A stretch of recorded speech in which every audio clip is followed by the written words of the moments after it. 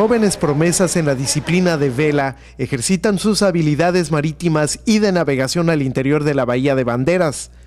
Los jóvenes veleristas adquieren experiencia en este deporte aprendiendo técnicas de navegación.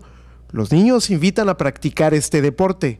Es que sí se lo recomendaría y que vinieran a, entrar a las clases de vela para que se divirtieran y sepan más cosas de barcos y vela. Desde muy temprana edad, Emilia de Teresa, una de las deportistas, ya ha conquistado medallas en competencias nacionales. Tres. ¿En dónde? En, una en Sonora, otra en, en Guadalajara, en Chapala y otra en, en Progreso.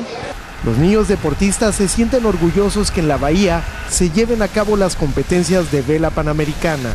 Pues para mí es algo muy importante, es una oportunidad que no hay que desperdiciarla y hay que echarle todas las ganas para seguir adelante.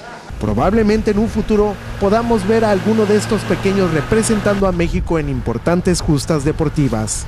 Esperamos sí que todos sigan el deporte y que sigan la motivación para que en el futuro sí los, los llevan los Panamericanos y después las Olimpiadas. Puerto Vallarta, Jalisco, Iván Suárez Jaramillo, Noticieros Televisa.